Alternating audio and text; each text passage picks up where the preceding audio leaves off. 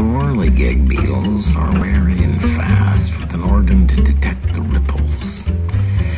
The arachnid moths lay their eggs inside other insects along the borders of fields or roads in clusters of white cocoons. The ribbed pine borer is a longhorn beetle. Their antennas are half the length of their body. And they feed on dead red pine. Robber flies with their immobile heads inject a paralyzing fluid into their prey that they snatch from life in midair.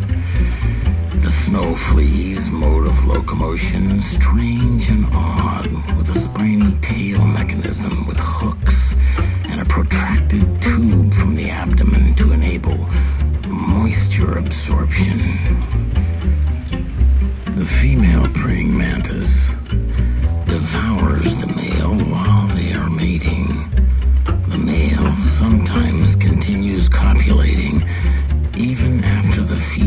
bitten off his head and part of his upper torso.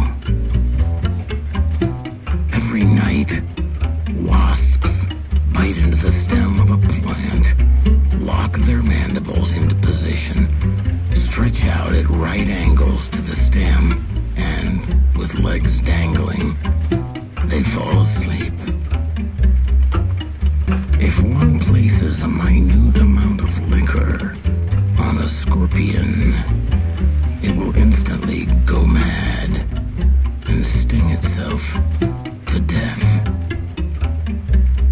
The bombardier beetle, when disturbed, defends itself by emitting a series of explosions, sometimes setting off four or five reports in succession.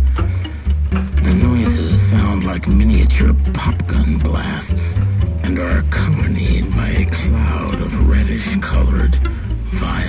vile-smelling fluid. It is commonly known that ants keep slaves. Certain species, the so-called sanguinary ants in particular, will raid the nests of other ant tribes and kill the queen, and then kidnap many of the workers. The workers are brought back to the captor's hive where they are coerced performing menial tasks. And as we discussed last semester, the army ants will leave nothing but your bones. Perhaps you've encountered some of these insects in your communities, displaying both their predatory and defense characteristics